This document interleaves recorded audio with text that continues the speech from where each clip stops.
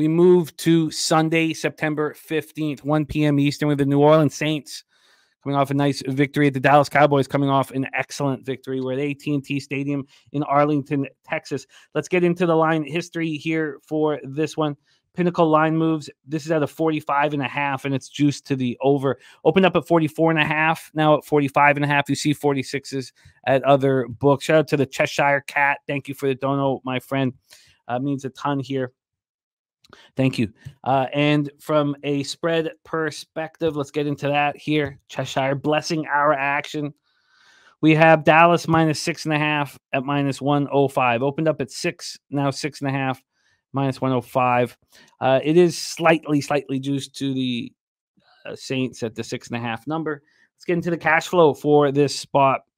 We have 18% of the tickets and 92% of the cash on the Cowboys. 78% of tickets and 85% of cash on the over. Londo on the Cowboys minus six and a half. Birdie bet the Cowboys minus six and a half. Spenny Penny Bomb says Cowboys. Now, Birdie was bullish against us when we were on the Browns last week, and it was a spectacular call by our friend Birdie. Uh, Coin says teams that recorded big week one divisional wins by seven points or more are 27 and 23 straight up, 27, 19, and two against the spread since 2006 in week two and that was the New Orleans Saints here. Saints coming off that dominant 47-10 home victory over the lowly Panthers, up 30 to 0 before the Panthers put up any points. It was a very impressive debut for Klint uh, Kubiak. Uh, I mean, how could it have gone any have been any more impressive? Uh, first game calling plays, most points Saints have ever scored in the season opener. Uh, Derek Carr, 19 and 23 for 200 yards and three touchdowns, no interceptions. I don't believe in him, but he finished the year strong had a really nice last five games of the year. Now he had a good opener. Rashid Shaheed caught three passes for 73 yards and a touchdown. Foster Moreau caught 443. Now he was pulled from the game with concussion symptoms after first down catch in the fourth quarter. He's in protocol right now. Uh, Chris Olave was nowhere to be found. Just two catches for 11 yards. We'll talk about the star receivers that didn't get, uh, you know, many uh, looks, he only got those two targets. Alvin Kamara, 15 carries for 83 yards and a touchdown. He caught five passes for 27 yards. They continued this streak of not having a 20 yard run, but he had a great game. Saints ran 37 times for 180 yards as a team. The pass pass rush was strong throughout the game. Uh, cornerback Alontae Taylor, six tackles and three sacks. Ooh, wee, the Tennessee product, 25 years old, sets the New Orleans record and ties the NFL record for most sacks in the game by a defensive back. Will Harris and Jordan Howden had interceptions. Uh, left guard Lucas Patrick left the game with a toe injury in the first half, and Marshon Lattimore left with a hamstring injury. Now it's considered minor. Uh, he's listed as questionable to go this week, that's a big piece there. Cowboys looked very good in their 33-17 victory at Cleveland. Uh, Dak secures 240 mil, 19 of 32 for 179 yards and a touchdown, 60 million per year in new money. CeeDee Lamb caught five passes for 61 yards, also ran three times for 25 yards. You know, the running game looked better than I expected it to. Uh, Zeke looked a little better, uh, 10 carries for 40 yards and a touchdown. And then CeeDee Lamb, those three carries for 25 yards is helpful. So Dak gets paid two weeks after CD gets that $136 million contract. Brandin Cooks caught four for 40 and a touchdown. The pass rush looked excellent. Six sacks, 17 quarterback hits. I mean, is that the Browns offense or sorry, offensive line looking weak? Or is that Demarcus Lawrence healthy? Two sacks, three tackles for a loss, four quarterback hits. Micah Parsons, one sack, but five quarterback hits. The defense was very strong, held the Browns to two of 15 on third down. Is that a case again of the Browns offense being much worse than we expected it to be? At the half, they'd held the Browns to one first down and just 54 yards of offense.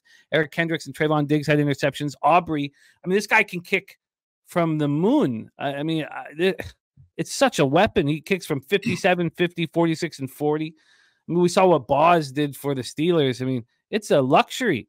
Uh, Jake Ferguson limped off the field with a left knee injury uh, after being tackled on a short completion. It's a bone bruise and a sprain of the medial collateral ligament in his knee. He's going to miss time. Now, he's not yet being ruled out for week two, but he's not going to be on the uh, in the lineup on Sunday.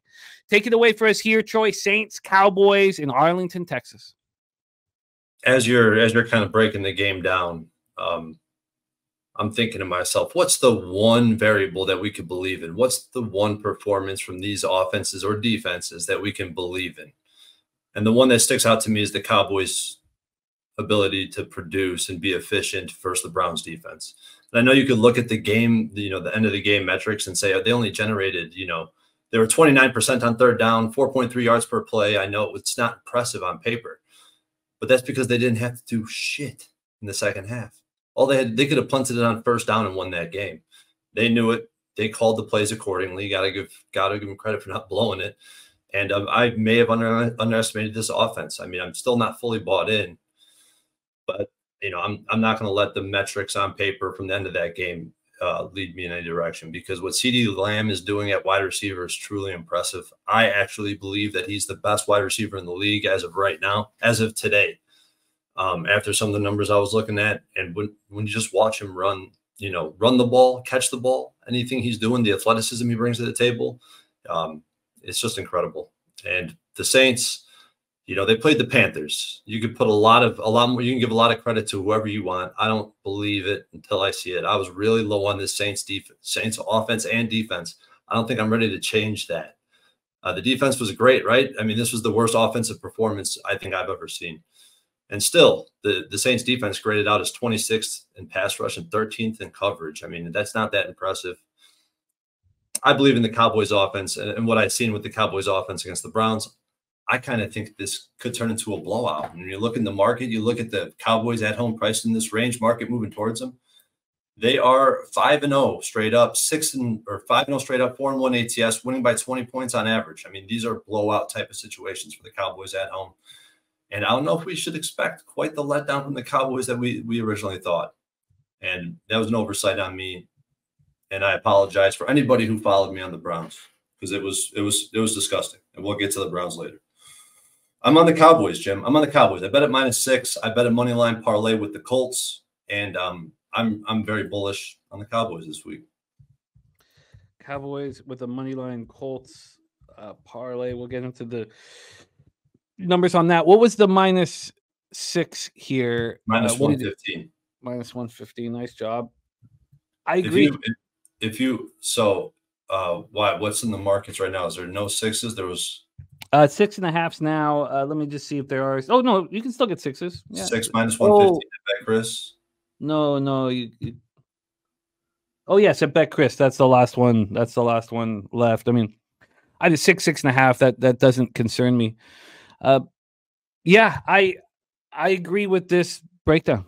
I agree with this breakdown. I, I think we're getting uh, the benefit of the Saints blowing out the Panthers. This yeah, this might be the like the the best sell high spot on this Saints team that we we see for the rest of the season. If you told me that they scored 47 points on Olave at two catches for 11 yards, I would be shocked if I didn't watch the game with my own two eyes. No, I'm very interested in joining you. Um, I can hook you, hook you up with the cash flow uh, here. D Jenkins wants it's more. the same. I mean, it's probably the same as what it always is. It is. Sharp action is on Dallas. 18% at bets, 91% of money. And yep. you see that across the market, like pretty much every game right now. And 78 and 85 on the over. And uh, Dennis saying, you know, as an Eagles fan, you know, he was just so happy to see this contract uh, come in for Dak. Anybody who dislikes the Cowboys was applauding and thankful and excited and you know it's a it's it's going to be a, a, very uncomfortable contract uh, very soon very very soon. Uh, jeff slaughter says cowboys win by four to six. Take that hook i'm telling y'all.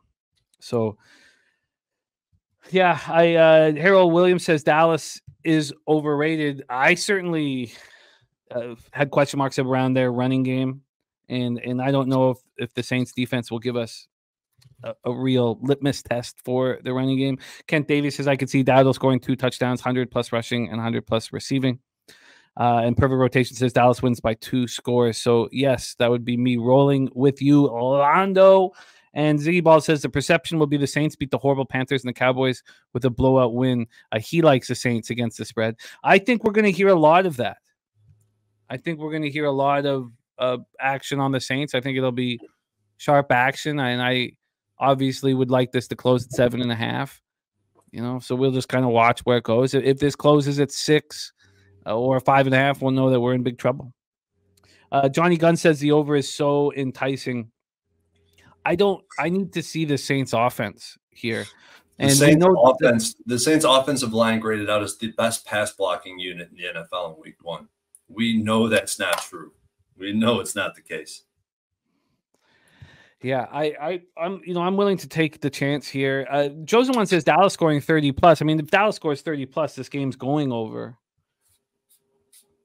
I, I don't feel that as an appealing spot here because I just don't trust what we saw from the Saints. But uh, I'm interested. I'm interested in joining here. I'll have to. I mean, this, this market right now is currently looking exactly like the Cowboys Rams or the Cowboys Jets last year 30 to 10. They win by 20. It's the same exact shit. Cowboys Rams 43 to 20. No, man. Nutflush says if you want to play the over, play the Dallas team total over. Uh, Johnny Gunn says based off of last week and last year, Dallas lets up off the gas. Uh, Jermaine saying Lattimore may not play. Dallas rolls by at least nine. Uh, you know, and then I'll I'll heed Jeff's advice and see what the price is for the six. But I'm interested in joining, and I don't uh, have a lot of interest in the total.